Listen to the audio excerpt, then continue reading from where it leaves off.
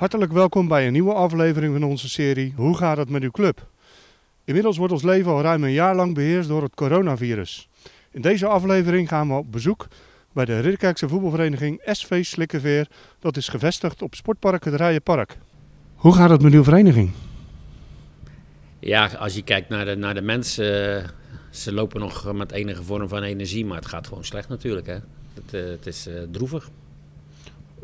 Ja, een jaar lang in coronatijd. dat heeft veel gedaan voor elke vereniging, maar ook bij Slikkeveer. Ja, natuurlijk. Je mist zoveel inkomsten. Je mist zoveel, eigenlijk nog belangrijker, zoveel contacten met de mensen. Het hele sociale leven ligt natuurlijk op zijn kont. Uh, want het wordt zwaar onderschat wat eigenlijk een, een, een, een, vereniging doet in de maatschappij.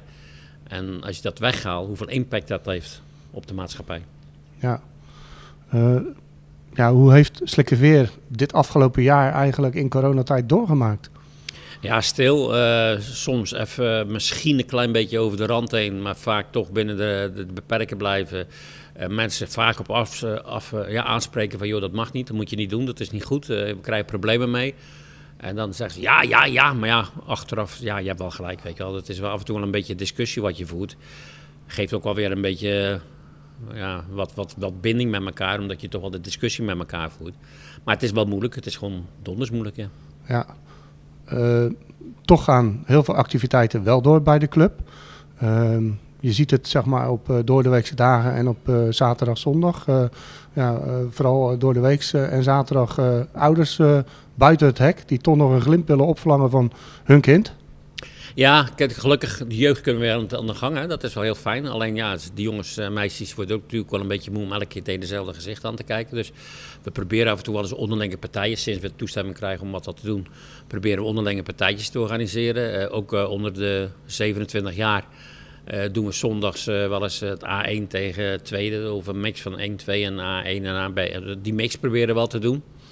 Uh, dat, dat, ja, nogmaals, mensen krijgen dan wel weer een beetje het gevoel. Maar ja, daarna moet je zeggen, nou jongens, uh, tasje pakken, weer weg. En gelukkig doen de mensen die langs de, de kant staan, tenminste niet langs de kant, maar buiten het hek staan. Ja, af en toe proberen ze een beetje te verwennen met een bakje koffie te geven of zo. ja, die mensen doen toch ook wel weer hele goede dingen. Dus ja, het is, het is ik hoop niet dat het het nieuwe Nederland gaat worden, zeg maar. Nee daarnaast, uh, ja, bij Slikkeveer natuurlijk uh, een bijzonder jaar sowieso al vanwege het eeuwfeest, 100-jarig bestaan. Wat eigenlijk amper gevierd kon worden. Um, maar daarnaast betekent het natuurlijk ook heel veel voor de vrijwilligers binnen de club.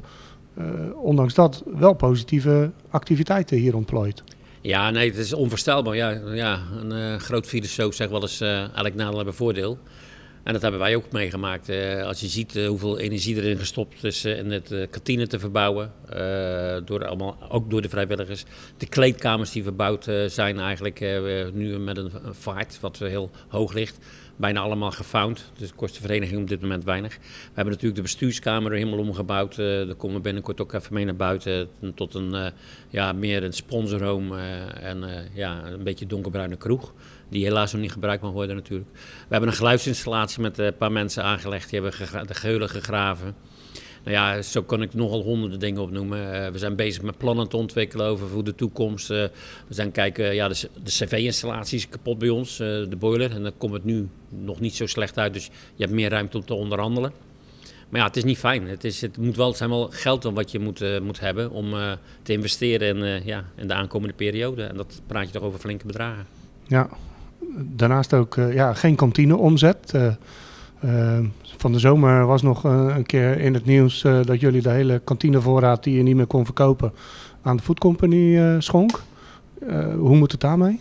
Ja, natuurlijk, je hebt altijd, je hebt altijd wel een voorraad. Want natuurlijk, de mensen die komen klussen, kan niet zeggen van je gaat met een, alleen maar een bakje koffie naar huis. Dus is ook af en toe wel zo'n biertje als het beperkt blijft, dat zeggen we wel eerlijk. Hè, van jongens, niet meer twee en dan moet je weggaan. Ik bedoel, uh, wij, proberen de regels zo, ook zo strak mogelijk te handhaven. Al valt het gewoon niet mee. Ja, je merkt gewoon de inkomsten is gewoon een, de grootste bron van je, van je vereniging. En uh, ja, ik maak af en toe als een geintje over van als mensen zeggen, ja, waarvoor betaal ik contributies? Nou, je moet eigenlijk niet meer betalen. Dat schrik is, want ja, je geeft nou niks uit in de kantine, dus dat hou je allemaal over dat geld. Ik heb beter in de club steek. Dus dat proberen we wel een beetje, een beetje met een uh, showtje van te maken. Maar ja, dit, dit is, uh, ja, het is gewoon waardeloos. Ja. Hoe ziet de toekomst eruit voor de vereniging? Ja, klinkt gek. Wij zijn wel een vereniging die aan het groeien is.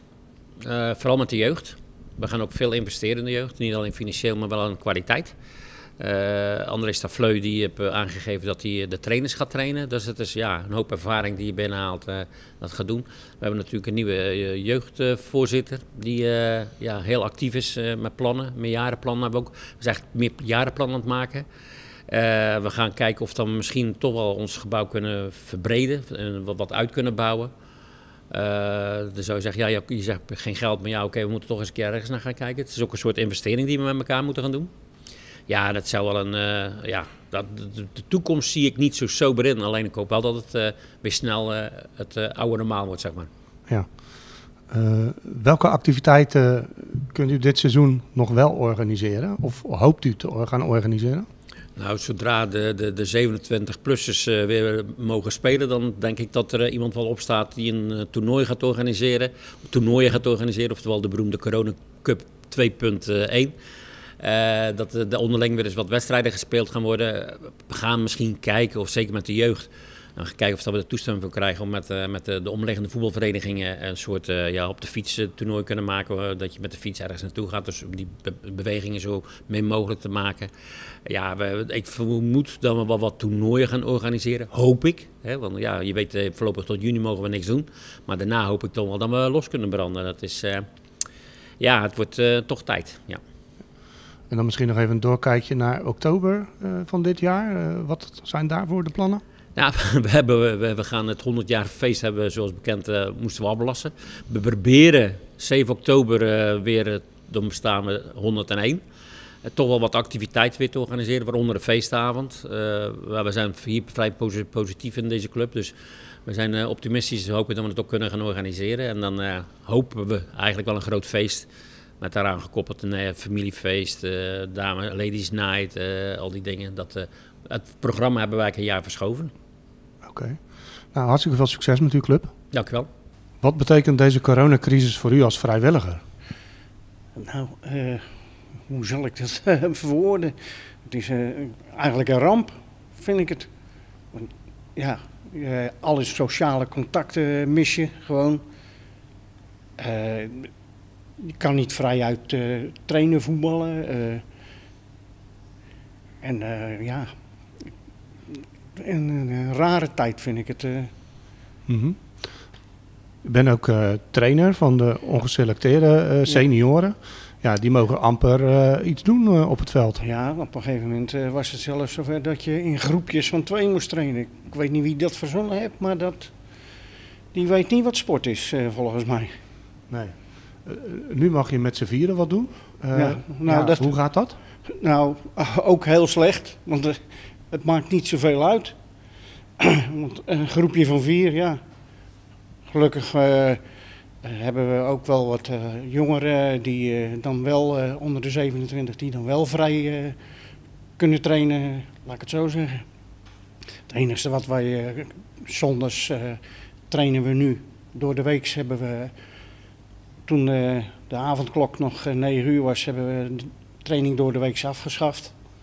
Want uh, ja, wij trainen normaal gesproken van 9 tot, tot 10. Ja. Dat gaat dus, niet. dat gaat niet. Nee. Dus. En ja, een uurtje van vroeger schiet ook niet op, want dan ben je ook om 9 uur nog niet thuis. Nee. nee. Dus uh, nu is gelukkig deze week uh, dat ingegaan dat 10 uur is. Dus gisteravond hebben we voor het eerst weer uh, met een klein groepje, want we hadden er maar acht. Want de meesten zijn gewoon, ja, die zijn het zat, die zijn het, die zijn het beu. Om, want je kan maar weinig, een beetje een balletje overschieten en een beetje afronden op doel. Ja. Meer kan je eigenlijk niet, want dat partijtje, dat gaat niet. Nee.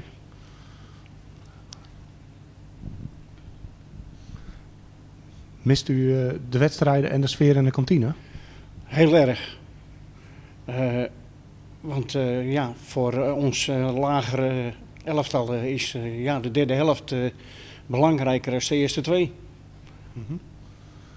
En ook je, je, je afspraken met, met, met, je vrienden en, en om buiten het voetbal nog wat te doen. Dat, ja, je kan alleen maar via je telefoontje met elkaar communiceren.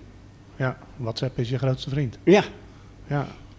En eh, ja, dat betekent dus ook dat er heel veel dingen misschien op zo'n vereniging die normaal standaard gebeuren, niet gebeuren. ja dat klopt. Eh, eh, je, het, het onderhoud, ja, dat, dat doen we nog wel. Hè. Op de maandag en de vrijdag maken we altijd schoon hier.